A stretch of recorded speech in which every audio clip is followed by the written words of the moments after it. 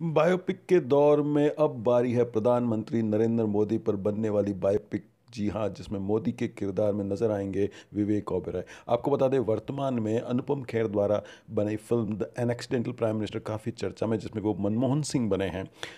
उमंग कुमार जिन्होंने बायोपिक बनाई थी मैरी कॉम पर, बॉक्सिंग चैंपियन मैरी कॉम पर बनाई थी, जिसमें प्रियंका चोपड़ा मैरी कॉम बनी थी और ये फ़िल्म काफ़ी चर्चा में रही, काफ़ी हिट रही थी। वही उमंग कुमार अब फ़िल्म लेके आ रहे हैं प्रधानमंत्री मोदी की बायोपिक जिसमें विवेक कोबराय प्रधानमंत्री मोदी का किरदार निभाएँगे। आपको बता दें कि आज महाराष्ट्र के मुख्यमंत्री देवेंद्र फडनवीस ने इसके पोस्टर विमोचन किए जो कि तेईस लैंग्वेज में इसके पोस्टर, यानी अब ये तय है कि ये फ़िल्म तेईस लैंग्वेज में डब होगी हिंदी के साथ साथ आपको बता दें कि प्रधानमंत्री मोदी का किरदार विवेक ओबराय निभाएँगे।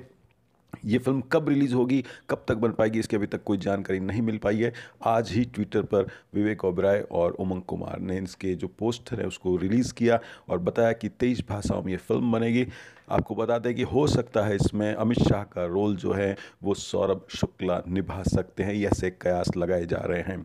उमंग कुमार, इससे पहले जैसे मैंने आपको बताया मैरी कॉम बना चुके हैं। मैरी कॉम काफ़ी सफल रही थी इंस्पिरेशनल मूवी थी एक महिला बॉक्सर की कहानी मैरी कॉम जिसमें प्रियंका चोपड़ा ने बहुत ही खूब अदाकारी दिखाई थी।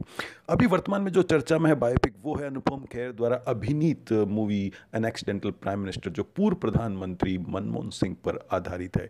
अब ये देखना दिलचस्प होगा कि विवेक ओबराय, अभी पोस्टर में तो बिल्कुल हु मोदी जैसे लग रहे हैं, मोदी के लुक में लग रहे हैं, लेकिन फ़िल्म में वो एक्टिंग किस तरह से कर पाते हैं, क्या वो मोदी का जलवा फ़िल्म में बरकरार रख पाएँगे, ये तो वक्त बताएगा, तब तक हमें इंतज़ार रहेगा, आपको भी इंतज़ार रहेगा। तब तक देखते रहिए हमारे चैनल को, धन्यवाद। हिंद